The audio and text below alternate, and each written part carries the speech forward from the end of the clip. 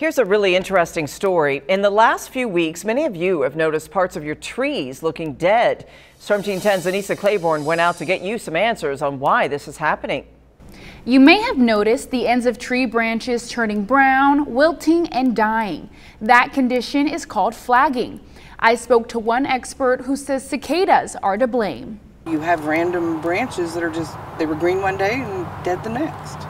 Like many residents, Kimberly Wetnight noticed a change in trees across town. Looking for answers, she reached out to News 10. Although random dead branches look concerning, experts say cicadas are the culprits. The female cicada makes a slit with a, a structure on her called an ovipositor, and that slit is where she uh, makes where she lays her eggs in it.